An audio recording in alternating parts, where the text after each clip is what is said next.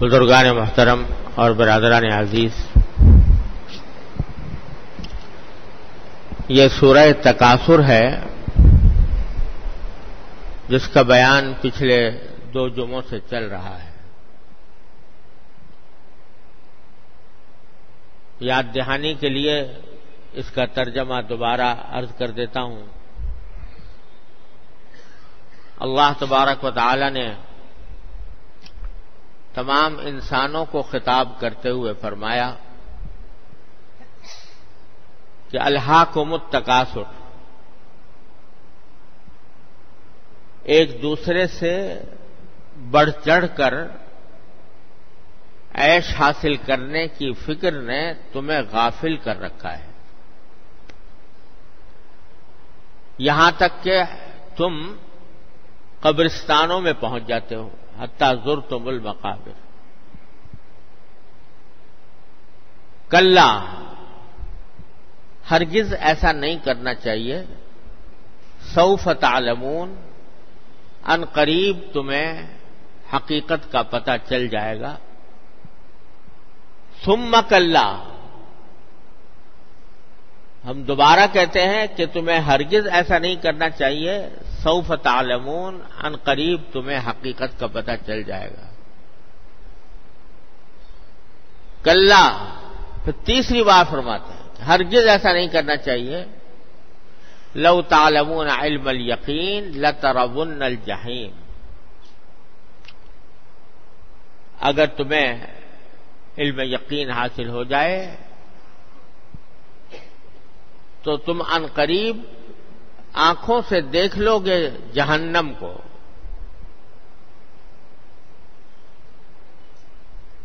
ثم لترون نہا آئین یقین پھر تم دوبارہ کہتے ہیں کہ تم یقین کی آنکھوں سے دیکھ لو گے اس جہنم کو۔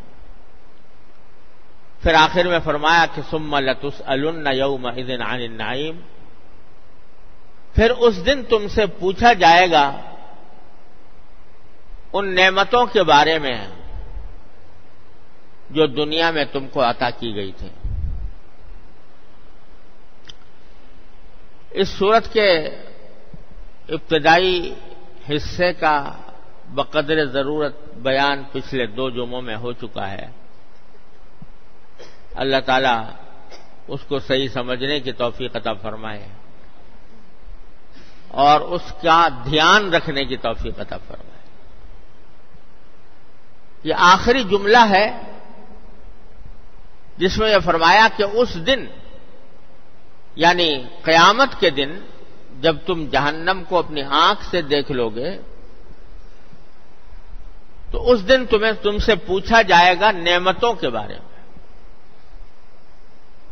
یعنی اس دنیا میں ہمیں، ہم نے تمہیں نعمتوں کی بارش تم پر برسائی ہوئی ہے۔ اگر دیکھا جائے تو تمہارا سارا وجود سر سے لے کر پاؤں تک اللہ تبارک و تعالی کی نعمتوں سے عبارت ہے۔ تمہارا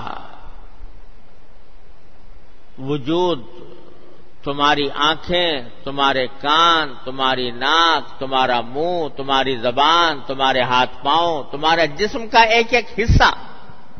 اللہ جل جلالہ کی نعمت۔ ایسی نعمت ہے کہ پیدائش سے لے کر مرتے دم تک تم ان نعمتوں سے فائدہ اٹھاتے ہو۔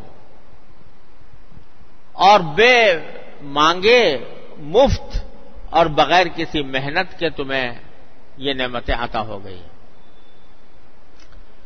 اگر انسان ذرا بھی دھیان کرے تو اس کو سوچنا چاہیے کہ یہ آنکھ جو مجھے ملی ہوئی ہے، کہ جس کے ذریعے میں جو چاہتا ہوں دیکھ لیتا ہوں، بینائی کی طاقت مجھے حاصل ہے۔ اس آنکھ کے ذریعے میں اللہ تبارک و تعالی کی پیدا کیے ہوئے حسین مناظر سے لطف اندوز ہوتا ہوں۔ اس آنکھ کے ذریعے بے شمار چیزوں کا میں علم حاصل کرتا ہوں۔ یہ کتنی بڑی نعمت ہے جو اللہ تعالیٰ نے آتا فرمائی ہوئی ہے۔ لیکن چونکہ مل گئی ہے مفت، بے مانگے، کوئی محنت کرنی نہیں پڑی، اس واسطے اس کی قدر نہیں ہوتی۔ زبان ہے جس کے لیے جس کے ذریعے جو بات کہنا چاہتا ہوں، فوراً کہہ دیتا ہوں، ادھر دماغ میں آئی اور ادھر زبان سے نکل گئی۔ کوئی محنت کرنی نہیں پڑتی، کوئی پیسہ خرچ نہیں کرنا پڑتا۔ لیکن یہ سرکاری مشین پیدائش کے کچھ ہی عرصے کے بعد سے کام کرنا شروع کر دیتی ہے اور مرتے دم تک ساتھ دیتی ہے۔ یہ کتنی بڑی نعمت ہے۔ یہ کان ہے جن کے ذریعے جو چاہتا ہوں سن لیتا ہوں۔ اور اس کے ذریعے بے شمار چیزوں کا علم حاصل کرتا ہوں۔ اور یہ بھی اللہ تعالی کی دی ہوئی ایسی مشین ہے جو پیدائش کے وقت سے لے کر مرتے دم تک میرا ساتھ دیتی ہے۔ کتنی بڑی عظیم نعمت ہے۔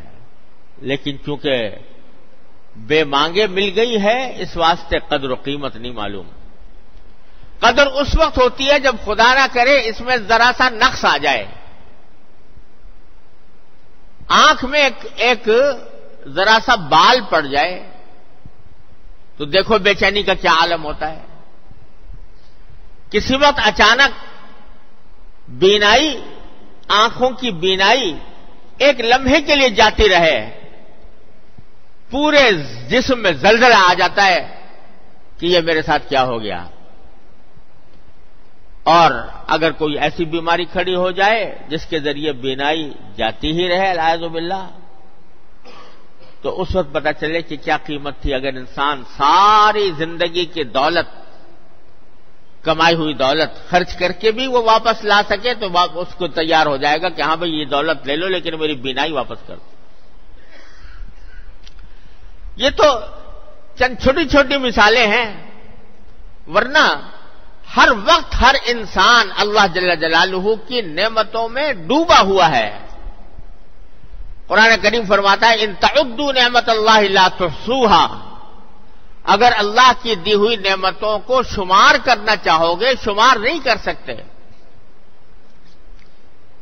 اور اس کی واضح ایک دلیل حضرت شیخ مسلم الدین شیرازی، شیخ سعدی رحمت اللہ علیہ نے اپنی کتاب گلستہ کے بالکل شروع میں لکھی ہے۔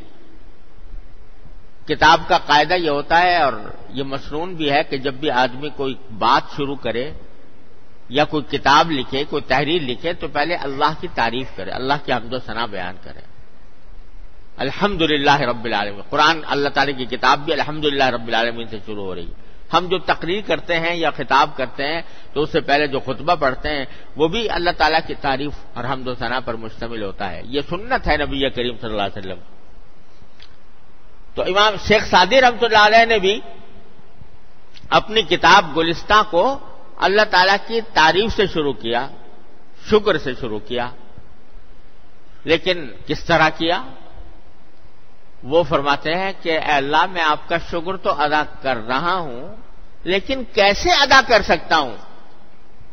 اس لیے ادا نہیں کر سکتا کہ میں اگر صرف اپنے جس، اپنے وجود کے اندر آنے جانے والے سانس پر غور کروں تو صرف ایک سانس کی نعمت کا میں شکر ادا کرنے کے قابل نہیں۔ کیوں؟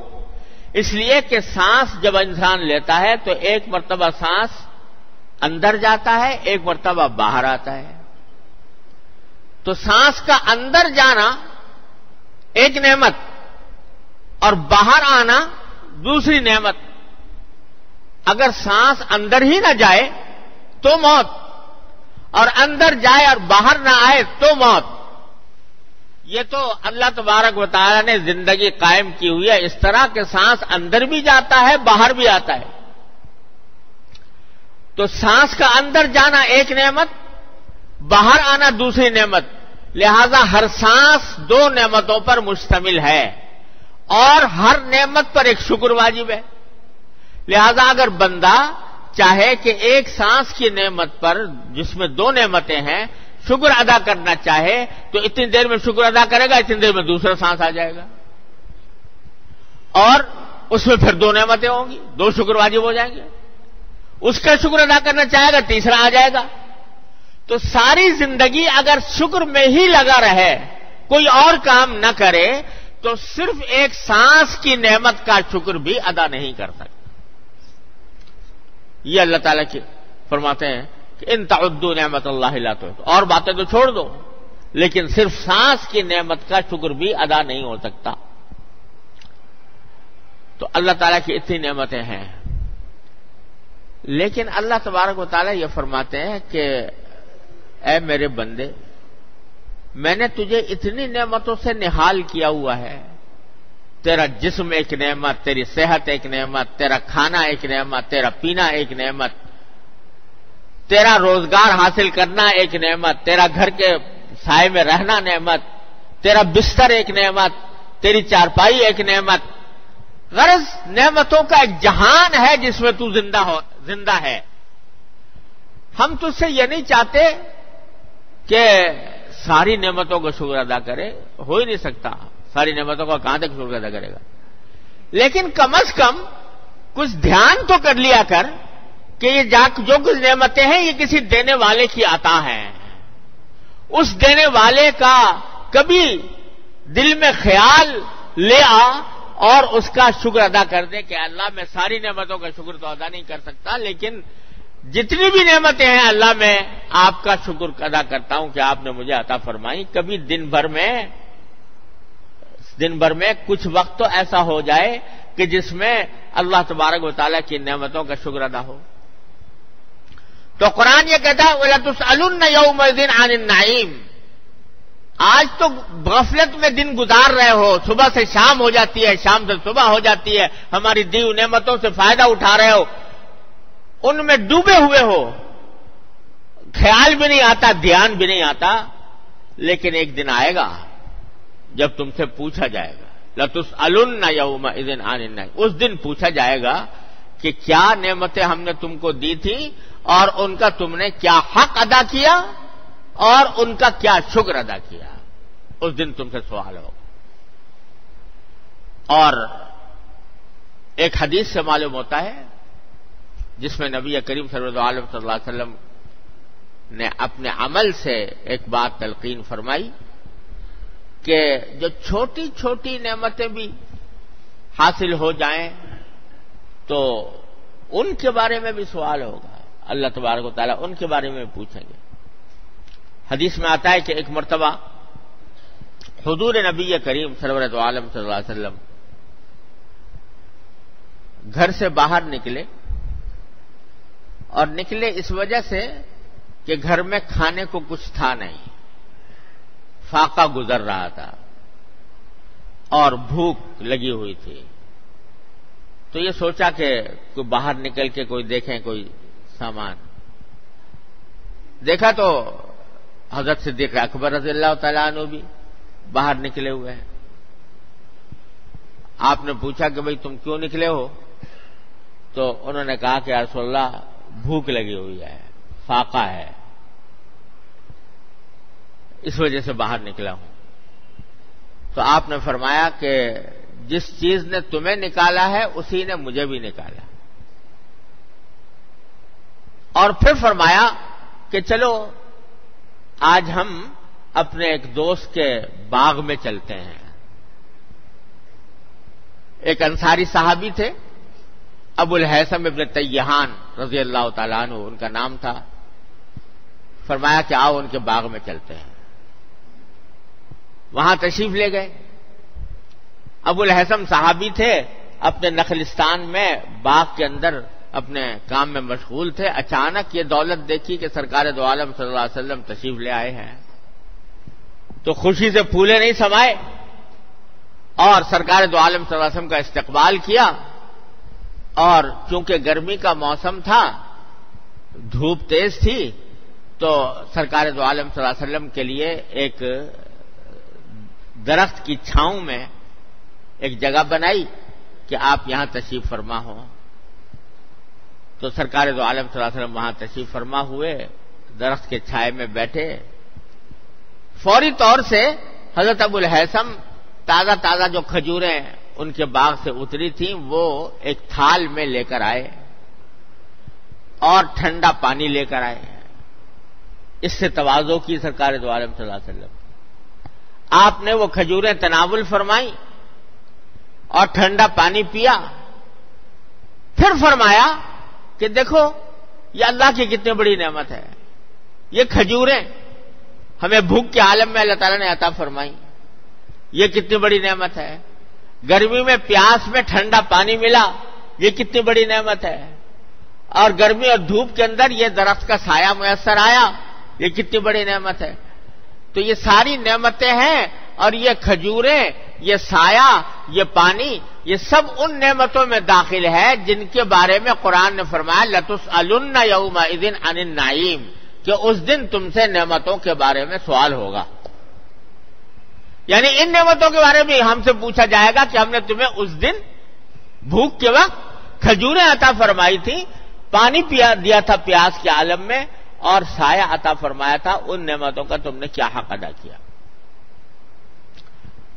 فوراً آپ نے تمبی فرما دی صاحب کرام کو، رضی اللہ تعالیٰ نے مجمعین کہ جب کوئی نعمت اللہ تبارک و تعالیٰ کی حاصل ہو، تو یہ دھیان کرو کہ ایک دن اس نعمت کا جواب دینا ہے کہ اس نعمت کو کس طرح حاصل کیا۔ سوال کیا ہوگا قیامت کے دن؟ کیا پوچھا جائے گا نعمتوں کے بارے میں؟ اس کی بھی ایک حدیث میں رسول کریم صلی اللہ علیہ وسلم نے تشریف فرمائی ہے کہ جب انسان قیامت میں پہنچے گا اور اس سے بعض پرس ہوگی تو اس سے پوچھا جائے گا کہ ہم نے فلاں فلاں چیزیں دی تھیں، اور تم نے کس چیز، کس کام میں استعمال کی؟ وقت چونکہ ختم ہو رہا ہے، لہٰذا وہ حدیث میں انشاءاللہ اللہ نے توفیق دی اور زندگی عطا فرمائی، تو اگلے جمعہ میں عرض کروں گا۔ لیکن اس وقت یہ عرض کرنا چاہتا ہوں کہ یہ جو کہا جا رہا ہے کہ نعمتوں کے بارے میں پوچھا جائے گا، اس کے کئی پہلو ہیں۔ ایک پہلو یہ ہے کہ اللہ تبارک و تعالیٰ کی دی ہوئی نعمت ہے جو تمہیں اللہ نے عطا فرمائی ہے۔ پہلا سوال تو یہ ہوگا کہ تم نے اس کو ضائع تو نہیں کیا؟ یہ اللہ تبارک و تعالیٰ کا دیا ہوا انعام تھا اس کا دیا ہوا رزق تھا، تم نے اس کو ضائع تو نہیں کیا۔ اگر ضائع کیا تو مانا یہ کہ نہ شکری کی، نہ قدری کی۔ اللہ تعالیٰ کی نعمت کا حق ادا نہیں کیا۔ پہلی بات تو یہ ہے، اب آپ ذرا ہم اپنے گریبان میں منہ ڈال کر اپنے طرز عمل کو دیکھیں۔ اللہ تبارک و تعالیٰ اپنے فضل و کرم سے روز ہمیں کھانا آتا فرماتے ہیں۔ بھوک لگتی ہے کھانا مل جاتا ہے؟ وہ زمانے تو گئے جس میں صاحب حضور اقدس صلی اللہ علیہ وسلم نے سرکار دو عالم صلی اللہ علیہ وسلم نے فاقے جھیل لیے۔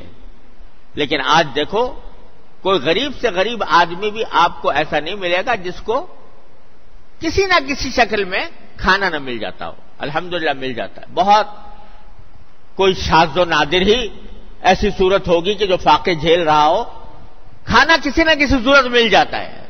غریب کو بھی، امیر کو بھی، دولت مند کو بھی، خوشحال لوگوں کو بھی ملا ہوا ہے کھانا۔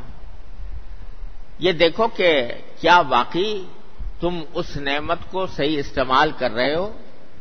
ضائع تو نہیں کر رہے؟ آج اگر ہم غریبانوں منہ ڈال کر دیکھیں تو جو لوگ کے خوشحال ہے خاص طور پر، کھانا ان کا آیا۔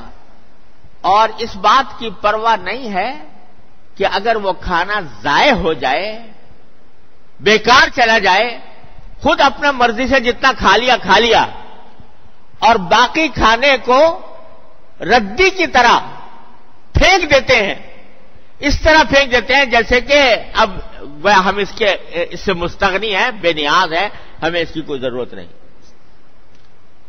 حضور اقدس نبی کریم سرور عالم صلی اللہ علیہ وسلم کی تعلیم یہ ہے کہ اللہ تبارک و تعالیٰ کے ہوئے رزق کا ہر ہر حصہ ایک نعمت ہے۔ اس کو ٹھکراؤ نہیں، اس کو ضائع نہ کرو۔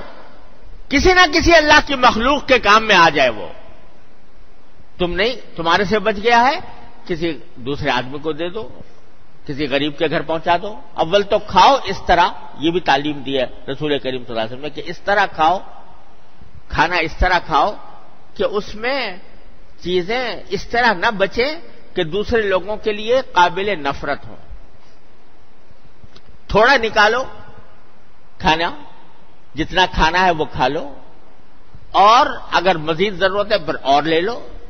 لیکن پلیٹ بھر لی کھانے سے اور اس میں سے کھا سکے آدھا تہائی۔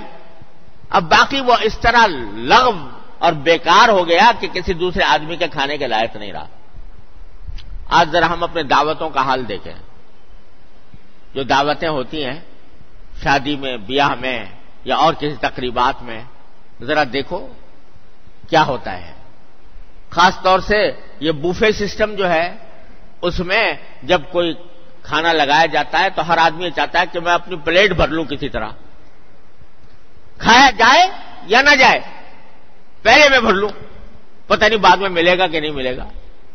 اور اس کے نتیجے میں کچھ آدھا تہائی کھایا گیا اور باقی بیکار۔ اگر اس جو کھانا بچتا ہے ہماری دعوتوں میں، اگر اس کا حساب لگایا جائے، تو دسیوں آدمی کا پیٹ بھرنے کے لیے کافی ہو۔ دسیوں بھی میں بہت احتیاط سے کہہ رہا ہوں۔ ورنہ جو بڑی لمبی چوڑی دعوتیں ہوتی ہیں تو وہ شاید سینکڑوں کا پیٹ بھر دے۔ اس طرح ہم ضائع کر رہے ہیں اللہ تعالیٰ کی دی ہوئی نعمتوں اللہ تعالیٰ کے دیے ہوئے رزق کو۔ اس طرح ضائع کر رہے ہیں کہ وہ کسی مصرف کا نہیں رہا۔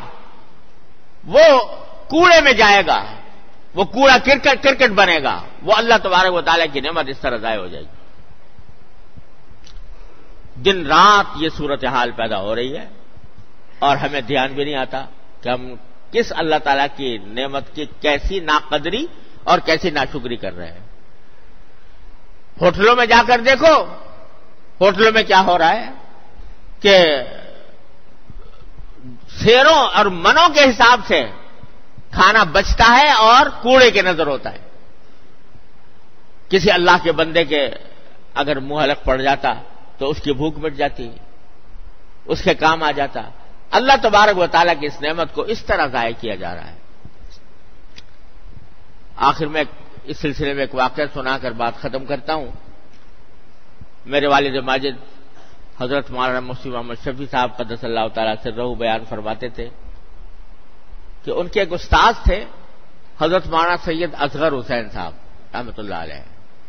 جو حضرت میاں صاحب کے نام سے مشہور تھے، بڑے درجے کے بزرگ تھے۔ فرماتے ہیں ایک دن میں ان کے ساتھ بیٹھ کر میں نے کھانا کھایا ان کے گھر پر۔ تو کھانے کے بعد کچھ نہ کچھ کھانا بچی، کھانا یا یہ لوگ تو ماشاءاللہ چونکہ سنت کے متبع ہے لہذا اہتمام کے ساتھ کھاتے ہیں کہ چیزیں ضائع نہ ہوں۔ لیکن جیسے ہڈیاں ہیں، بچ گئیں، کوئی ٹکڑا ہے، بچ گیا، کوئی روٹی کا برادہ ہے، وہ بچ گیا۔ اس طرح کی چیز دسترخوان میں پڑی رہ جاتی تھی۔ تو جب کھانا ختم کیا تو دسترخوان کو اٹھا کر میں نے چاہا کہ اس کو جھاڑ دوں باہر۔ جب اٹھانے لگا تو میاں صاحب پوچھنے لگے، بھائی، کیا کرنے جا رہے ہو؟ جو کہا کہ حضرت، یہ دسترخوان کو جھاڑنے جا رہا ہوں۔ کہا، تمہیں دسترخوان جھاڑنا آتا ہے؟ تو ایسا فرماتے ہیں، میں نے عرض کیا کہ حضرت، یہ کوئی دسترخوان جھاڑنا بھی کوئی فن ہے؟ جس کو سیکھا جائے؟ کہا کہ ہاں اسی لیے پوچھا تم سے۔ یہ بھی ایک فن ہے۔ کہ حضرت پھر سکھا دیجیے۔ تو فرمایا، لو، سکھاتا ہوں۔ وہاں دسترخوان کے اوپر سے پہلے وہ ہڈیاں نکالی جو صرف ہڈیاں ہی ہڈیاں تھیں۔ ان کو ایک طرف جمع کیا۔ کچھ ہڈیاں ایسی تھیں کہ جن کے اوپر تھوڑی تھوڑی بوٹی کا کچھ حصہ رہ گیا تھا، وہ ایک جگہ جمع کیا۔ پھر روٹی کے جو ٹکڑے تھے، چھوٹے چھوٹے، وہ ایک جگہ جمع کیے۔ پھر روٹی کے آٹے کا جو برادہ، بورا جس کو کہتے ہیں، وہ گر گیا تھا، اس کو سمیٹا اور ایک جگہ جمع کیا۔ فرمایا، میں نے ان میں سے ہر چیز کی الگ الگ جگہ مقرر کر رکھی ہے۔ یہ جو ہڈیاں ہیں، یہ میں فلاں جگہ رکھتا ہوں، وہاں کتا آتا ہے، وہ کھا لیتا ہے۔ یہ جو دوسری قسم کی ہڈیاں ہیں، جس کے اوپر تھوڑا بہت کھیچڑے یا کچھ گوشت کی بوٹی کا کوئی حصہ لگا ہوا ہے، اس کی الگ جگہ مقرر ہے، ایک بلی آتی ہے، وہ اس کو کھا لیتی ہے۔ اور یہ جو ٹکڑے ہیں روٹی کے یہ میں اس دیوار کے اوپر رکھتا ہوں، وہاں کبے اور چیلے آتے ہیں، وہ اٹھا کر لے جاتے ہیں، وہ ان کی غذا بن جاتی ہے۔ اور یہ جو روٹی کا برادہ ہے، یہ میں اس جگہ فلاں جگہ رکھتا ہوں، وہاں چیونٹیوں کا بل ہے، وہ چیونٹیوں کی خوراک بن جاتی ہے۔ تو دیکھو، یہ اللہ تعالیٰ کا رزق ہے، اس کا کوئی حصہ ضائع نہیں جانا چاہیے، اللہ کی کسی نہ کسی مخلوق کے استعمال میں آنا چاہیے۔ یہ تعلیم دی، حضرت والا نے۔ بات کیا ہے کہ الحمدللہ اس بات کا احساس تھا کہ یہ اللہ تعالیٰ کا دیا ہوا رزق ہے۔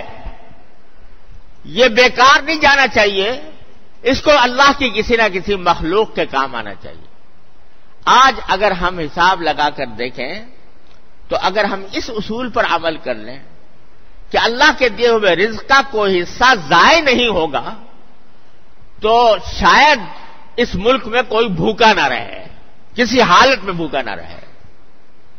اور فقر و فاقے کا سد باب ہو جائے۔ لیکن اللہ تعالیٰ کی نعمتوں کی ناقدری کی وجہ سے ہم نے اپنے اوپر یہ عذاب مسلط کیا ہوا ہے کہ کسی کے گھر میں تو رزق کے ڈھیر لگے ہیں اور کسی کوئی کھانے کو ترس رہا ہے۔ اس لیے پہلا سوال، یہ بات یہاں پر ختم ہونے والی نہیں ہے۔ قرآن کہتا ہے کہ نعمتوں کے بارے میں سوال ہوگا۔ تو پہلے سوال یہ ہوگا کہ اس نعمت کو تم نے کس طرح استعمال کیا؟ اس کی ناقدری تو نہیں کی، اس کو اس کو بیکار تو نہیں ضائع کیا؟ پہلا سوال یہ ہوگا۔ اللہ تعالی ہمیں آج یہ سبق لینے کی توفیق عطا فرما دے کہ ہم اللہ کے دیے ہوئے کسی رزق کو ضائع نہیں ہونے دیں گے، اس کو کسی نہ کسی طرح ٹھکانے لگائیں گے۔ جس کا جس کا کوئی فائدہ حاصل ہو، اس طرح ہم ناقدری میں مبتلا نہیں ہوں گے۔ اللہ تبارک و تعالیٰ اپنے فضل و کرم سے، اپنی رحمت سے ہمیں اس پر عمل کرنے کی توفیق عطا فرمائے۔ واخر دعوانا الحمد للہ رب العالمین۔